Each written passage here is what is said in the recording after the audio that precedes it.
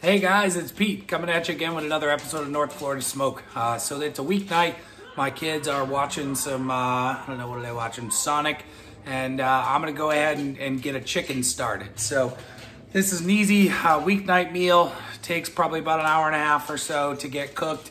And I'm gonna go ahead and spatchcock this chicken, and that means I'm gonna remove the backbone, and uh, we're split or spread it right out onto a uh, cookie sheet. We'll get it all seasoned up and then we'll go ahead and get it onto our smoker. So thanks for stopping by. Please make sure to like, rate, and subscribe. Also make sure you're following us on Instagram. That's at uh, North Florida Smoke. So please make sure to check us out on there for some more content as well. Hey guys, we're gonna spatchcock this chicken. Now what that means, uh, other than being a funny word, is we're gonna remove the backbone and we're gonna use a pair of kitchen shears for that. So here we are with our chicken and uh, this has been, uh, took all the, the gizzards out and rinsed it down. And now I've got it sitting here on our cutting board. So what we're gonna do is use a pair of kitchen shears. We're gonna go ahead and turn that over so we've got the backbone facing us. And you can actually see it um, right on the, the line here. I'll turn this for you.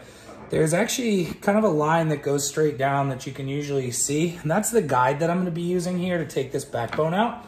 So I'm gonna start on one side. I'm gonna kind of pick up this little tail here and I'm gonna start just cutting into and up the backbone. And I'm gonna remove this completely and I'm gonna do it from both sides. So as soon as I cut all the way through, I'm gonna go to the other side.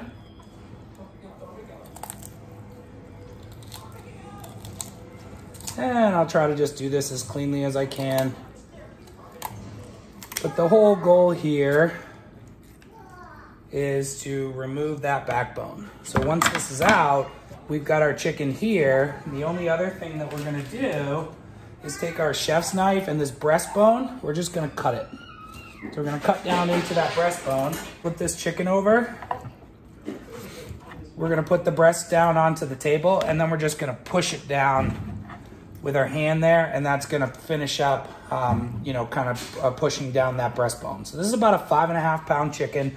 So not too huge here, and that's good because you don't want something that's been chock full of hormones and everything else.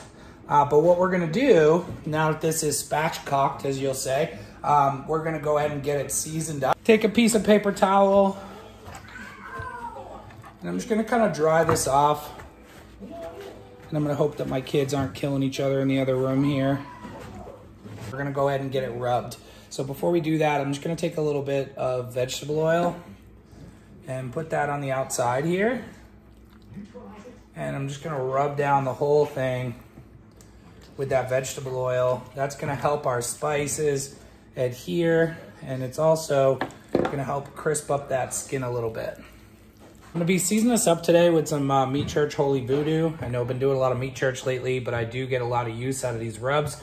And Holy Voodoo is the absolute best uh, thing that I've found to put on basically anything poultry.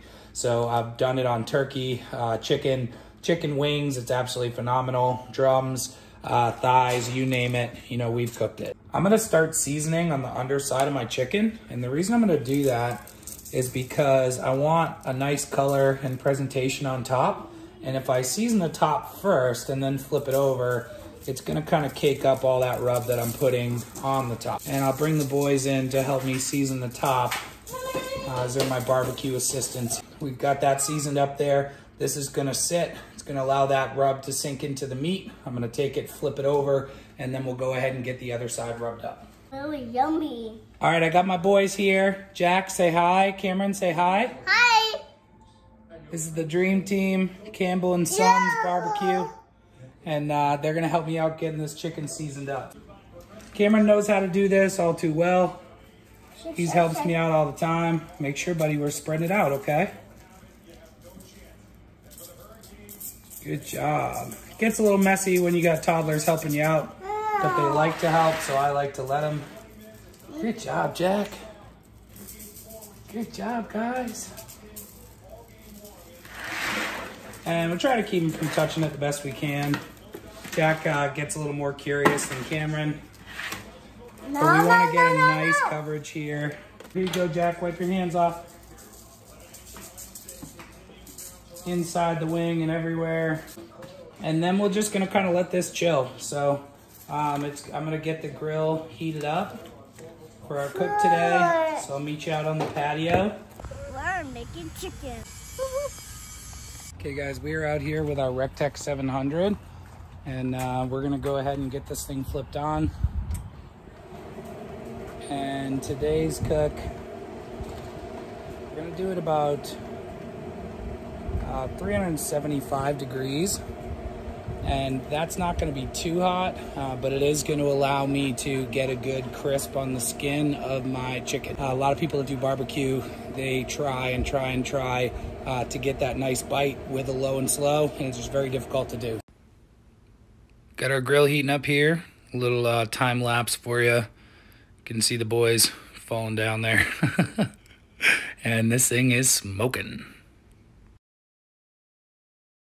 Are you ready to cook chicken? So when you cook with toddlers, uh, things get pretty messy.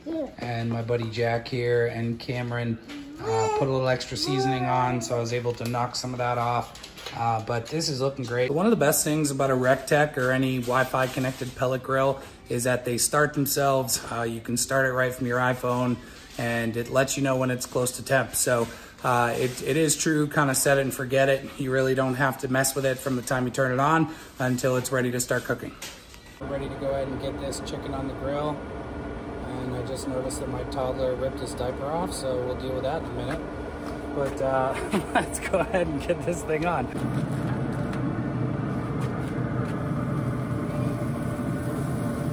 We're gonna put the probe in, the thickest part of the breast. Get it right in there. Plug that in, and then we're gonna pull her off at 165. So here's our chicken. It's got a nice color to it. Is roaring away. It is a beautiful evening here in North Florida. Got our uh, chicken rolling on here. Let's take another quick peek at our chicken. That is looking excellent. So it's saying we're at a little over 160 right now. So I'm gonna check it out with our Thermapen MK4. And this is just uh, gonna give us a little bit more accurate of a reading. This is saying 134 in the breast here. And uh, let me check it out on this side. Yeah, we're getting 162 over here. And about 150 on that side. So I'm gonna let this keep rolling for a few. So I'm not loving how the uh, the chicken's temping right now, like where the probe's at. Take my glove, move it over to this side. That and see where that's at. And uh, yeah, the temperature's coming down a little bit like I thought. And it's probably gonna drop below the 160 mark. There it goes. So that means we have undercooked chicken. So we're gonna keep this thing rolling. So my hypothesis was correct. Okay, it's reading 165 there. I'm happy with how it looks, so I'm gonna go ahead and get this pulled off. I'm gonna use a spatula to get underneath this uh, and try not to mess up the top. Drop it right down there. There's our beautiful bird. Here's our chicken, looking excellent. That holy voodoo. Got us a nice crust on the outside. This bird here is looking and smelling great. We're gonna go ahead and get it carved up.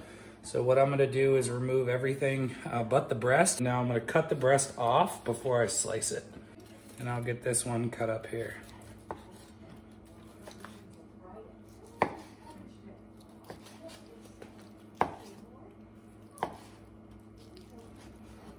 Here's our chicken. Give you a little look there. Nice and juicy, nice and moist.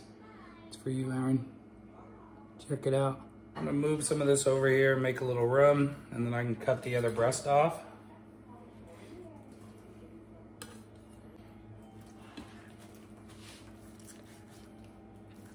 So I'm gonna cut right down the center there. Try to get off as much as I can.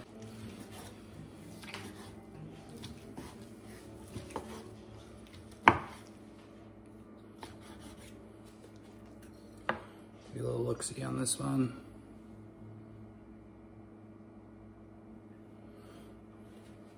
And we are ready to eat. Give you a little look at the chicken here. The breast didn't get as crispy on the skin as I was looking for there because I was probing around on it. But the thighs are looking really good. So are the wings. So excited to dig in here. Got some nice juicy chicken. And we're gonna enjoy. Thanks everybody for joining us on another episode of North Florida Smoke. Please make sure to like, rate, and subscribe, and we will see you next time.